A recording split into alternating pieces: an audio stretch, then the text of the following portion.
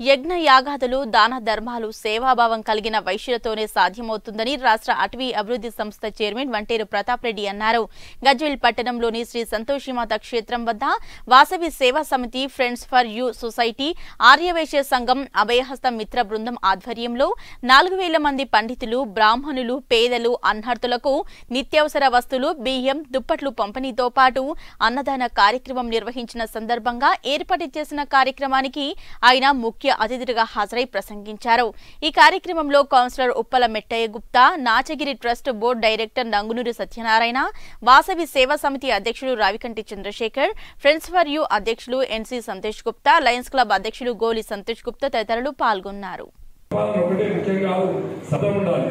ఆ అర్థమైనటువంటి సంపాదన మంచితనంతో మంచి గుర్తింపుతో ముందు పోవాలని చెప్పేసి